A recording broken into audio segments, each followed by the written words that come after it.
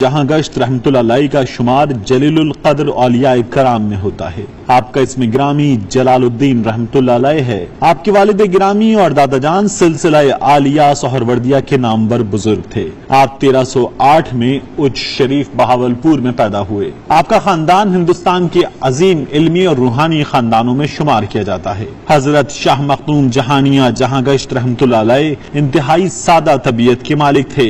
हज़रत शेख रुकनुद्दीन रहमतुल्लाह की खिदमत में मुल्तान शरीफ हासिल हुए और आपके जेर साया हासिल किया। फरागत के बाद हरमैन शरीफैन का सफ़र किया और शेख अब्दुल्ला याफई रहमतुल्लाह समेत नामवर बुज़ुर्ग मुहदसिन और इस कराम से इल्म हासिल किया। सात साल के क्याम के बाद इल्म हदीस के माहिर बनकर वापस तशरीफ़ लाए और शेखुल इस्लाम हज़रत शेख रुकनुद्दीन के दस्त अकदस पर बैत की। सैर सयाहत फरमाते हुए मक्का मुकर्रमा, मदीना मुनवरा यमन, अदन, दमिश्क, लबनान, मदाइन समेत मुताद मुल्कों का सफ़र किया, जहाँ जाते तबलीग दीन के लिए रुक जाया करते थे। इसी वजह से हज़रत शेखुल इस्लाम बहाउद्दीन जकरिया रहमत ने मखदूम जहानिया जहाँ गश्त का लकब अता फरमाया। आपका शुमार हिंदुस्तान के जलील कद्र और नामबर औलिया कराम में हुआ। अलाउद्दीन खिलजी समेत कई शहनशाह आपके अकीदतमंदों में शामिल थे, जिनका आपके पास अक्सर आना जाना भी रहता था। आपका मजार मुबारक उच्च शरीफ जिला बहावलपुर में है।